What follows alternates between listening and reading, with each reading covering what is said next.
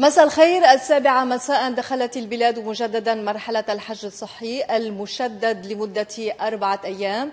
بعدما سجلت الإصابات بالكورونا في الأيام الأخيرة أو سجلت أرقاما صادمة كما قال وزير الصحة الذي حذر من خطر الانزلاق إلى التفشي المجتمعي الوبائي العام.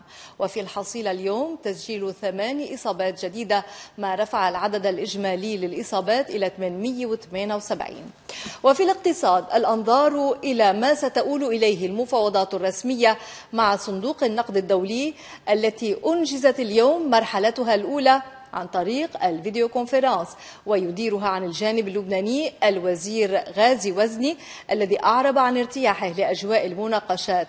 في وقت دعت مجموعة الدعم الدولية من أجل لبنان لإشراك جميع المعنيين لا سيما الشعب اللبناني في المشاورات حول محتويات خطة الحكومة. وفيما العين على خط المعابر غير الشرعية حيث قدرت المبالغ التي يستنزفها التهريب بما يزيد على العشرين مليار دولار قرر المجلس الأعلى للدفاع إنشاء مراكز جديدة على الحدود لمكافحة التهريب وتكثيف المراقبة وتشديد العقوبات. مشاهدينا قبل متابعة النشرة ننتقل إلى آذان المغرب. نتابع نشرتنا. إذا ملف التهريب حضر على طاولة مجلس الدفاع الأعلى ولفت ما أعلنه وزير الداخلية أن الطلب على القمح والمزوت أكثر من حاجة السوق الاستهلاكية ما يعني أن الكميات الإضافية إما تخزن لاستعمالها لاحقا أو ترمى في البحر أو تهرب إلى الخارج. فيما أعلن السيد حسن نصر الله أن معالجة التهريب الحدودي لا يتم إلا بالتعاون بين لبنان وسوريا. قضائيا وعلى خط ملف الفيول المغشوش الجزائر تدخل على خط التحقيق التحقيق إذ أعلن الناطق الرسمي لرئاسة الجمهورية الجزائرية أن بلاده كدولة غير متورطة ربما أفراد والعدالة ستأخذ مجراها. فيما ادعت القاضية غدع على 13 شخصا بينهم كمال حايك وحليس. ملف آخر إلى الواجهة الأملاك البحرية. إذ باشرت مفارز الشواطئ وبإشارة من المحامي العام التمييزي باستدعاء أصحاب المخالفات البحرية على أن يبدأ إقفال كل المشاريع المخالفة خلال أسبوع بعد انتهاء عطلة التعبئة العامة. البداية من التعبئة العامة كيف هي الحال على الطرقات مع بدء سريانها. التفاصيل مباشرة مع الزميل وسيم عرابي الذي ينضم إلينا من شارع الحمراء في بيروت. مساء الخير وسيم كيف هو المشهد عندك في شارع الحمراء؟ خصوصا أن الشوارع شهدت اليوم ازدحاما غير مسبوق في زمن الكورونا.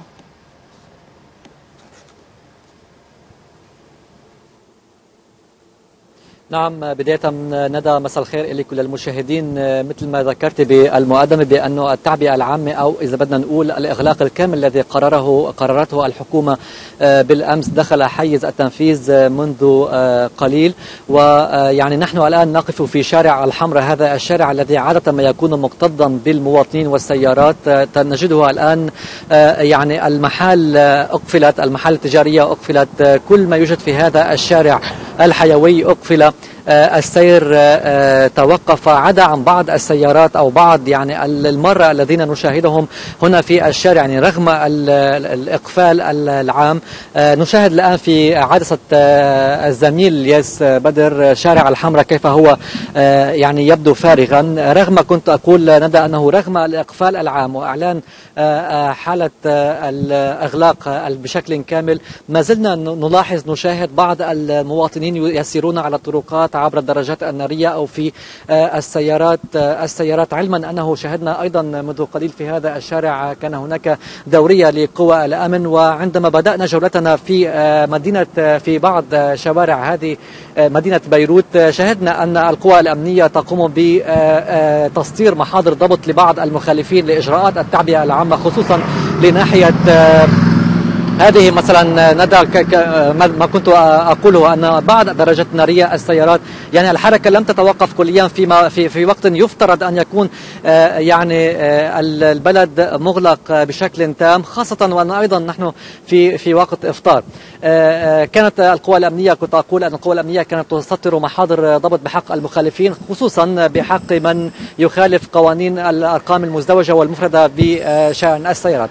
أشير ندى إلى أن يعني الإجراءات التعبئة العامة مستمرة لمدة أربعة أيام منذ هذه اللحظات وحتى فجر يوم الاثنين الساعة الخامسة فجر الاثنين. ولابد من التزام المواطنين ونحن قابلنا بعض المواطنين الذين أشاروا إلى أن لا التزام لدى الكثير من الناس ولابد من اتخاذ بعض الإجراءات الوقاية تجنبا لانتشار هذه العدوى الانتشار المجتمعي في في في لبنان. إذا هذا شارع الحمراء هنا بشكل عام أو يمكن القول أنه أغلق بشكل كامل وفق ما نشاهد في الصورة أو أمامنا. أولا نشير إلى أن عدد الإصابات في لبنان ارتفع إلى 878 آه، مصابا 120 آه، مصاب منهم آه، من الوافدين الذين أتوا على متن الرحلات رحلات الإجراء التي نفذتها أو يعني قامت بها شركة طيران الشرق الأوسط إلى لبنان. 120 مصاب طبعا كان هناك بعض الشوائب في هذا الموضوع والأمر الذي أدى إلى انتشار الوباء أو ارتفاع عدد المصابين في الأيام الماضية وهذا ما دفع الحكومة إلى اتخاذ قرار التعبئة العامة أو الإغلاق الكامل في البلاد على مدة أربعة أيام.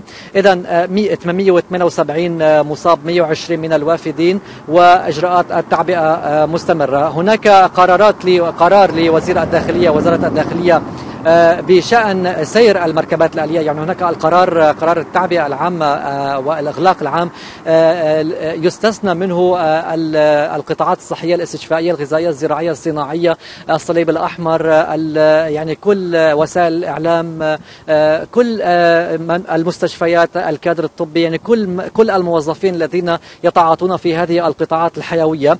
وهناك طبعا تشديد على ضرورة تطبيق هذه الإجراءات. آه، أو آه، تطبيق آه، محاضر أو تصدير محاضر ضبط بحق المخالفين. هذا هذه هي الصورة اذا ندى هنا في شارع الحمراء وبشكل عام بالنسبة لموضوع الإجراءات العامة اولا نشير إلى أنه تم طرأ تعديل على موضوع التوصيل المنزلي الخدمة توصيل خدمة التوصيل المنزلي إذ يلتزم المطاعم يعني بتوقيت العمل التي حددت له مع الالتزام بموضوع توصيل المنازل توصيل الطعام والدليفري إلى المنازل. شكرا وسيم عرابي كنت معنا من شارع الحمراء. وقبل دخول قرار الإقفال حيز التنفيذ شهدت الشوارع زحمة جنونية في زمن الكورونا.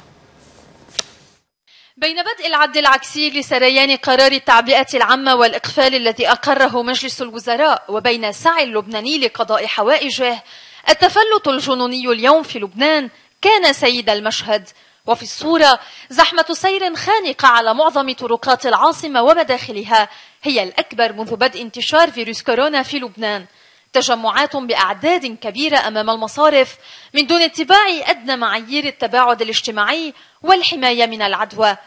وفي ظل كل هذا التسيب وعدم الوعي يبقى السؤال هل سنتمكن من الانتصار على جائحة كوفيد 19 رغم قلة المسؤولية وهل من إجراءات وتدابير رادعة حازمة لمعاقبة المخالفين المتهورين الذين يعرضون الأمن الصحي المجتمعي للخطر؟ ملف التهريب على طاولة مجلس الدفاع الأعلى الذي قرر تكثيف المراقبة وتشديد العقوبات وضبط الحدود وإقفال المعابر غير الشرعية. قرر المجلس الأعلى للدفاع في جلسة عقدها في قصر بعبدة برئاسة رئيس الجمهورية العماد ميشيل عون تكثيف المراقبة والملاحقة وتشديد العقوبات وتطبيقها بحق المخالفين من مهربين وشركاء وبذل كافة الجهود بالتنسيق ما بين الأجهزة المعنية لضبط الحدود منعا لتهريب البضائع والمواد وإقفال جميع المعابر غير الشرعية. كما قرر وضع خطة شاملة لاستحداث مراكز مراقبة عسكرية وأمنية وجمهورية الجمركية وكان الرئيس عون قد التقى قبل اجتماع المجلس رئيس مجلس الوزراء الدكتور حسان دياب وعرض معه آخر التطورات على الساحة المحلية على الصعد الصحية والاقتصادية والأمنية وموضوع ضبط الحدود والمعابر. الرئيس عون دعا لعدم التهاون في مسألة التهريب لخطورتها على المالية العامة ولتحديد كميات المواد المستهلكة على الصعيد الوطني كوسيلة داعمة لضبط تهريب المواد والبضائع. الرئيس دياب عرض للانعكاسات المالية والاقتصادية للتهريب على مداخل الخزينة والمعوقات اللوجستية التي تحول دون ضبط الحدود البرية. وبعد أن عرض قائد الجيش الواقع الميداني للحدود البرية لا سيما وضعية المعابر غير الشرعية من النواحي كافة تداول الوزراء المختصون وقادة الأجهزة الأمنية والعسكرية والجمركية في المسائل والصعوبات التي تحول دون ضبط الحدود. وتقرر تكثيف المراقبة والملاحقة وتشديد العقوبات وتطبيقها بحق المخالفين من مهربين وشركاء.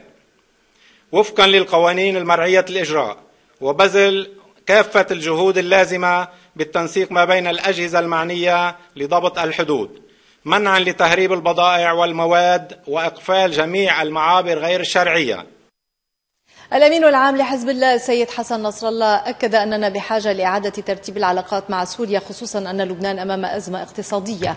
وقال إن قناعتنا في صندوق النقد الدولي معروفة لكننا لا نريد تعقيد الأمور على الحكومة في ظل هذه الأزمة. وعن ملف التهريب أكد نصر الله أنه إذا انتشر الجيش اللبناني على كل الحدود السورية فهو لا يمكن وحده أن يمنع التهريب لأن الحدود متداخلة والأمر معقد والحل يكمن في التعاون الثنائي بين الحكومتين الجيشين اللبنانية والسورية والجيشين اللبناني والسوري. إذا كانت الحكومة اللبنانية تفكر كيف تطرق أبواب العالم للحصول على المساعدات كيف تذهب إلى صندوق النقد الدولي كيف وكيف وكيف؟ طيب ما في طريق واضح وعقلائي. إنسان لما بصير بلده في خطر الانهيار الاقتصادي وفي خطر المجاعة في كثير من الضوابط ممكن يقبل إنه يناقش فيها أو يعيد النظر فيها. طيب نحن مثلا على سبيل ممكن حدا يقول طب ما أنتم مش هيك. لا نحن هيك. نحن إذا بتجي لقناعاتنا في موضوع صندوق النقد الدولي قناعاتنا حكيوا فيها إخواننا. لكن نعم نحن ما بدنا نعقد الأمور على الحكومة اللبنانية وعلى البلد. ما بدنا نعقد قلنا خلينا نشوف خلينا نتفاوض خلي الحكومة تفاوض خلينا نشوف الشروط. طيب اليوم نتيجة عداوات سياسية نتيجة رهانات سياسية خاسرة وخاطئة نتيجة أوهام سياسية عند عدد من القيادات السياسية اللبنانية أو القوى السياسية اللبنانية. لا يجوز أن يستمر هذا الوضع القائم. ترتيب الوضع مع سوريا يمكن أن يفتح أبوابا مهمة جدا للاقتصاد اللبناني وللمعالجة الاقتصادية للبنان. بالحكومة السابقة كان دائما حديث عن إحراجات المناخ الشعبي المناخ السياسي المناخ الإقليمي. طيب اليوم البلد إذا بده يضل يراعي بعض المناخات هو رايح على الانهيار رايح على السقوط رايح على الجوع رايح على أنه أغلبية الساحقة من الشعب اللبناني تصير تحت خط الفقر. أحد أشكال المعالجة العقلائية المنطقية غير الوهمية هو ترتيب العلاقة مع سوريا لنفتح الحدود نفتح المعابر نصدر إنتاجنا الزراعي والصناعي وبالتالي نحيي قطاعاتنا الإنتاجية. نتعاون على وقف التهريب على ضبط الأمور وسوريا جاهزة. لهذا نعرف أن سوريا جاهزة بدرجة كبيرة جدا وعالية جدا. التأخير التعطيل التأجيل المماطلة هي لبنانية. ويجب أن يخرج لبنان من هذا الأمر بشكل واضح. الشعب اللبناني يجب أن يعرف أيضا أن هذا أحد أساليب النجاة من الوضع القائم التي يمكن أن تحقق نتائج قريبة وسريعة. مش إنه والله خطة طويلة الأمد. عبر الفيديو باشرت الحكومة اللبنانية مفاوضات سرية مع صندوق النقد الدولي لمناقشة خطة التعافي المالي التي وضعتها الحكومة. هذه المحادثات يديرها وزير المال غازي وزني وهي تأتي بعد المناقشات التمهيدية التي أجراها يوم الاثنين مع ممثلين عن الصندوق ويشارك في المحادثات. فريق من وزارة المال ومصرف لبنان في حضور ممثلين عن مكتب رئيس الجمهورية ومكتب رئيس الوزراء. تجدر الإشارة إلى أنه يتم تنظيم هذه المحادثات عن طريق مؤتمرات الفيديو. وقد أوضح وزني أن الحكومة وصندوق النقد الدولي قد أنجزا المرحلة الأولى من المحادثات بهدف التوصل إلى اتفاق يعيد وضع الاقتصاد اللبناني على المسار الصحيح معربا عن ارتياحه لأجواء هذه المناقشات متوقعا أن تكون المناقشات المقبلة بناءة بالقدر ذاته. ومع انطلاق المفاوضات مع صندوق النقد الدولي وزيرة الإعلام منال عبد الصمد أكدت أن نجاح الحكومة يكمن في تطبيق الإصلاحات المطلوبة وهذا لن يتم من دون الحصول على دعم القوى السياسية. بدأت المفاوضات الرسمية مع صندوق النقد الدولي لطلب مساعدة لبنان في مواجهة الأزمة المالية الحادة. والتحدي أمام نجاح الحكومة يكمن في تطبيق الإصلاحات المطلوبة. وهذا لن يتم من دون الحصول على دعم القوى السياسية لهذه العملية. وزيرة الأعلام منال عبد الصمد أكدت في حديث لتلفزيون لبنان أن الجميع متفق على حماية أموال المودعين والمواضيع الخلافية بين الفرقاء السياسيين موضع بحث وتداول. إلى أي مدى تعولون كحكومة على هذه المفاوضات؟ خصوصا أن اليوم هناك بعض الشروط التي تتطلب إجماع بين الفرقاء. يعني إلى أي مدى سيكون هناك إجماع بالسياسة بين الفرقاء على بعض الملفات اللي هي اليوم ملفات خلافية تعتبر؟ نحن بداية متفقين كلياتنا أنه نحن بدنا الإصلاح، نحن بدنا خطط تقدر تفيد الوطن وتنهض بالاقتصاد وبالاجتماع، هيدا الشيء كلياته بيتوافق مع مطالب الصندوق النقد الدولي، مشان هيك بنعتبر أنه هيدي الخطة هي آه، جاءت ببعض الأفكار وبعض الحلول وبعض الإصلاحات يلي هي بتتماشى مع ما طلبه صندوق النقد، بالنسبة للأمور الخلافية هي موضع بحث وتداول ولكن كلنا متفقين أنه حماية المو المودعين هي أساس وهي أولوية عند الجميع لأنه يمكن أنا أي وديعة بدي أخذها هلأ رح أخسر مقابلها مئات الودائع بالمستقبل وهذا الشيء أكيد مشين وما بنقبل فيه. وفي بعض الأمور يلي هي بحاجة لبعض التعديلات ونحن دائما بنقول إنه الخطة بطبيعتها هي قابلة للتعديل لأنه هي خارطة الطريق ولكنها ليست القرار النهائي هي قابلة لا لا أيضا للاخذ بعين الاعتبار بعض النقاط يلي ممكن إنها تحسن فيها وممكن إنها أكيد توصلنا لنقاط مشتركة كلنا بنتفق عليها. ما فينا نقول إنه دائما نحن الكل بيتفقوا على كل شيء ولكن مثل ما قلنا الأساس إنه يكون الطروحات الموضوعه هي بتوصل لإصلاح بتوصل لبلد بلد مثالي. وزيرة الإعلام شددت على ضرورة النهوض بمؤسسات الدولة. مجموعة الدعم الدولية من أجل لبنان أعلنت أنها أخذت علما بتبني الحكومة اللبنانية بالإجماع لخطة التعافي المالية كإطار بناء للإصلاحات المستقبلية. كما وقرارها بطلب برنامج دعم من صندوق النقد الدولي كخطوة أولى في الاتجاه الصحيح. وأشارت المجموعة إلى أنها تشجع على إشراك جميع المعنيين لا سيما الشعب اللبناني في المشاورات حول محتويات الخطة وسبل الإسراع في تطبيقها. كذلك تشجع كلا من الحكومة والبرلمان على العمل سويا لتهيئة تهيئة الظروف اللازمة لتنفيذ الإصلاحات المطلوبة في الوقت المناسب وضمان الشفافية والمساءلة الكاملتين استجابة لمطالب المواطنين اللبنانيين. الأملاك البحرية إلى الواجهة. فقد باشرت مفارز الشواطئ التابعة لسريات الشواطئ في قوى الأمن الداخلي على كل الشواطئ اللبنانية وبإشارة من المحامي العام التمييزي القاضي غسان الخوري باستدعاء أصحاب المخالفات البحرية على يبدأ إقفال كل المشاريع المخالفة خلال أسبوع بعد انتهاء عطلة التعبئة العامة ماذا سيحمل هذا الملف؟ الأملاك البحرية قد لا ترحم أحدا إذا كشفت على مصراعيها سوى القليل من النافذين خصوصا أننا سنكون أمام فضيحة ثانية مدوية بعد فضيحة الفيول المغشوش. بعض الأملاك البحرية التي سيطرت عليها جهات سياسية تعود إلى حقبة الحرب اللبنانية واستمرت بعد التسعين بنفس التغطية السياسية الواضحة. وعلى امتداد الشاطئ اللبناني وتتركز بشكل كبير بين الهري شمالا وساحل المتن الجنوبي. وبحسب المعلومات المتوافرة فإن القرار قد اتخذ للقيام بالإجراءات اللازمة فيما خص المخالفات الحاصلة قبل العام 94 أي في فترة التغطيات السياسية ومصادرة المساحات الكبيرة من الأملاك البحرية على الشاطئ اللبناني ومنع اللبنانيين من ارتياد الشاطئ والذي هو حق طبيعي لهم. وتضيف المعلومات التي حصلنا عليها. أنه في حال تم تحصيل أموال المخالفات فإن مليارات الدولارات ستدخل الخزينة اللبنانية وهي حتما من أموال الناس المنهوبة. ولكن السؤال هنا أين خطة وزارة الأشغال لمرحلة استرداد الحقوق؟ وأين القرار الحكومي الواضح في هذا الشأن؟ والسؤال الأكبر والأهم هل ستسمح المحميات السياسية من القيام بما يلزم وإعادة الحقوق إلى أصحابها؟ وتضيف المعلومات أيضا أن معظم المؤسسات البحرية التي لم تسدد ما يتوجب عليها أو لم تسوي وضعها يملكها سياسيون ونافذون. فهل نحن أمام واقع جديد ومكافحة حقيقية للفساد وتحديد الأملاك البحرية وإعادتها إلى الناس أو سيعاد تشريع التعديات مقابل مبالغ قليلة ستدخل إلى الجيوب المنتفخة؟ وفي ملف الفيول المغشوش الجزائر تدخل على خط التحقيق والقاضي عون تدعي على 13 شخصا بينهم مدراء.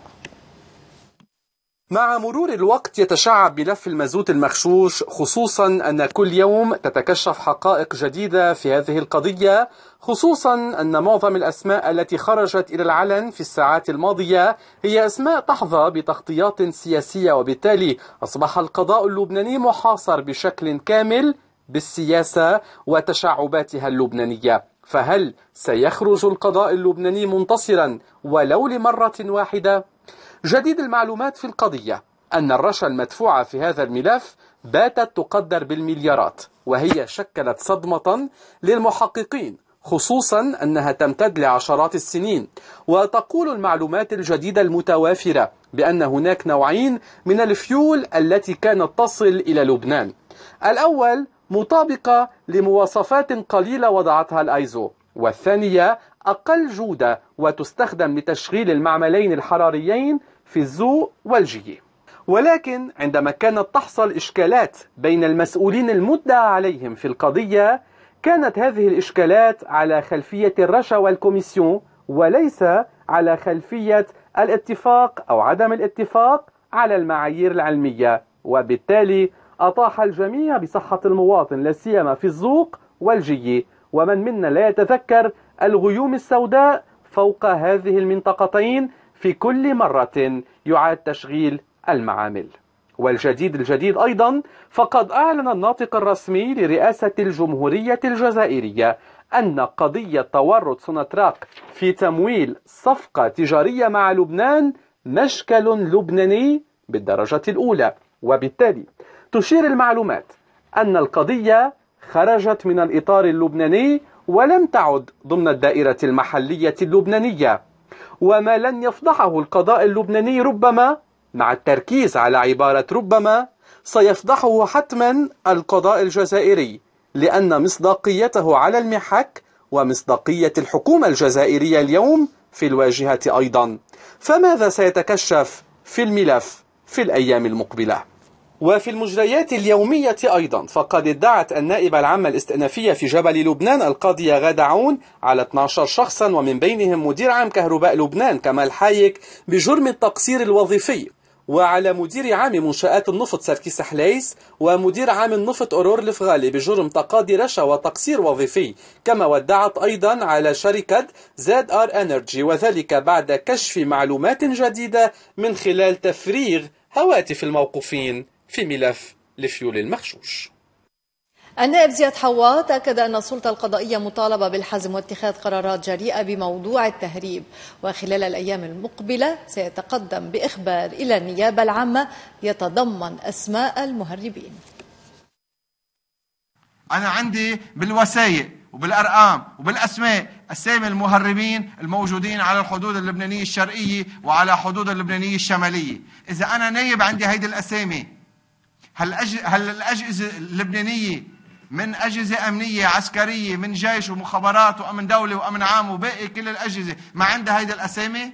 إذا عندها الأسامي وساكتة عليها جريمة أكبر وإذا ما عندها الأسامي في كارثة وقلة كفاءة عند بعض هالأجهزة.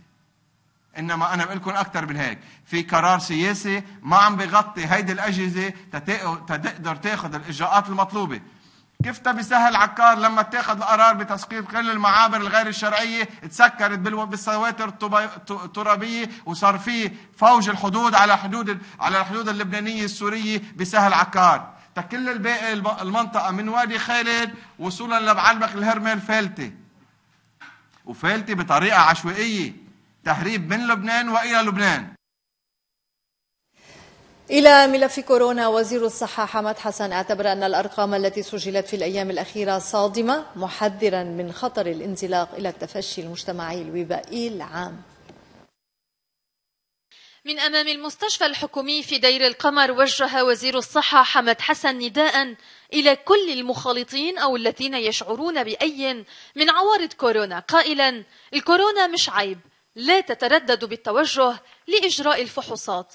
وإزراء أن أرقام كورونا التي سجلت في الأيام الماضية صادمة وتحذر من خطر التفشي المجتمعي طمأن حسن خلال زيارته منطقتي دير القمر وجزين في إطار رفع الجهوزية لمواجهة كوفيد-19 إلى أننا لسنا مهددين بأمننا الصحي العام بإذن الله. بدي طمن بحط إيدي على قلبي لأنه اللبناني إذا طمنته ما بعود فيك تلحقه نحن برغم من الحالات اللي تسجلت فريق ترصد الوبائي والطب الوقائي عم بيتلحق هاي الحالات وعم يتبعها وعم بيقدر يحدد مصدر العدوى وبالتالي طول ما نحن مسيطرين على مصدر العدوى نحن إن شاء الله ب آه، مش مهددين بأمننا الصحي العام.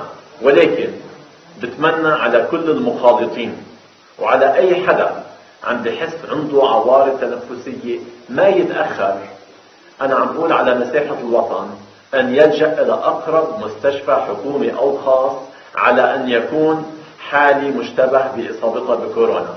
أن فريد البستاني من جهته تمنى على الوزير إعلان مستشفى دير القمر مستشفى حكومي بشكل رسمي بسبب حاجة المنطقة إليها داعيا إلى المزيد من الدعم للتجهيز لوجستيا للاستفادة بالتالي من التجهيزات الطبية. موظفو تلفزيون لبنان خضعوا اليوم لفحص ال PCR بمبادرة من وزيرة الإعلام. بمبادرة من وزيرة الإعلام منال عبد الصمد في ضوء تفشي فيروس كورونا وبالتنسيق مع وزارة الصحة ووزارة الشؤون الاجتماعية خضع موظفو وعاملو تلفزيون لبنان إلى فحص ال PCR فقد حضر فريق طبي إلى مبنى التلفزيون حيث خضع الموظفون إلى الفحص تباعا. وقد أشرفت الوزيرة عبد الصمد على عملية الفحوصات. صراحة نحن بإطار هالحقيقة موجة الكورونا يلي عم تجتاح البلد. نحن لاحظنا أنه تلفزيون لبنان لبنان بموظفينه وبالأعضاء العاملين فيه المصورين وال reporters والمخرجين وغيرهم. هن عم بيتعرضوا أكيد لمخاطر نتيجة تنقلهم وحتى الأشخاص الموجودين باستوديو لأنه عم يستقبلوا أشخاص ضيوف هن كمان ممكن يكونوا ناقلين المرض. فمشان هيك طلبت من وزير الصحة بأنه يأمنوا لنا آه، جهاز ليقدر يعمل فحوصات للأشخاص اللي أكثر عرضة. وحقيقة استجاب وزير الصحة لطلبنا. وامن هذا الفريق اللي بنشكره على جهوده. وأيضا نشكر وزارة الشؤون الاجتماعية اللي امنت لنا كمان الفان يلي آه، بيقدر هو عم يقوم بكل هيدي الفحوصات داخليا. على أمل أكيد إنه نحن نشمل أكبر عدد من الموظفين والعاملين بالتلفزيون ليعملوا هذا الفحص. ولكن بالوقت الحالي نحن عم نقتصر نظرا أكيد لمحدوديه الأعداد على الأشخاص اللي هن أكثر عرضة للمخاطر مخاطر التعرض للجمهور. فإن شاء الله تكون كل النتائج سلبية ونكون كمان على مستوى البلد نحن عم تتحسن أيضا النتائج لناحية التخلص من هذا الوباء. وحول الإجراءات التي اتخذها مجلس الوزراء بالإقفال التام لمدة أربعة أيام قالت عبد الصمد. الإجراء اللي اتخذ من الحكومة بإقفال أربعة أيام هي آه، مش أكثر إلا ضبط الأمور وإعادة تقييم النتائج. وعلى ضوء مفترض الأحد بيصير في قرار آه، لاحق للأسبوع القادم إذا نحن بنستمر بالحملة نحو التشدد أو نحو تخفيض التعبئة أو مش خلينا نقول تخفيض الإجراءات بالتعبئة. إذا بنستمر بالمرحلة الثالثة الثالثة أو نحن ممكن يمكن نرجع للمرحلة الأولى حسب آه، حيثيات النتائج أو يمكن نرجع نكفي بالمرحلة الرابعة مثل ما كان مقرر بالبرنامج. نتائج الفحوصات ستصدر بعد يومين على أمل أن تكون جميعها سلبية. آملين السلامة للجميع. تبدأ غدا المرحلة الثالثة من عودة المغتربين التي ستمتد من 14 أيار إلى 24 أيار وسيعود وفق المتوقع ما يقارب ال 14 ألف مواطن من مختلف دول العالم. وزير الخارجية نصيف حتي نفى ما نقل عن لسانه أثناء انعقاد اللجنة الوزارية الخاصة بعودة المغتربين بأنه رفض اقتراح وزير الصحة إعادة النظر في رحلات عودة المغتربين وأكد أن الأمور جرى نقاشها وتم اتخاذها بالتوافق والإجماع وما سرب لم يكن صحيحا. نقيب الأطباء شرف أبو شرف طالب بتأجيل فتح المؤسسات الدراسية والحضانات والمطاعم والمؤسسات السياحية ودور العبادة والقيام بالحجر المؤسساتي في بعض مرافق الدولة. فرض إجراء فحص ال PCR مجددا على جميع العائدين في المطار. ثلاثة التشدد في تطبيق الحجر الإلزامي. ومتابعته من قبل الأجهزة المختصة. أربعة فرض الحجر المؤسساتي في أماكن محددة من قبل الدولة أقل لمدة أسبوعين. خامسا توصية بتأجيل فتح المدارس والجامعات ودور الحضانة وإعادة النظر في فتح المجمعات والمحلات التجارية والمطاعم ودور العبادة. ستة وضع خطة منظمة وصحية لعودة الحياة الاقتصادية والاجتماعية. سبعة تفعيل التنسيق بين مختلف الجهات المعنية لا سيما منها وزارتي الصحة والداخلية من قوى أمن ومحافظين وبلديات في مختلف المناطق لمتابعة الحجر الصحي.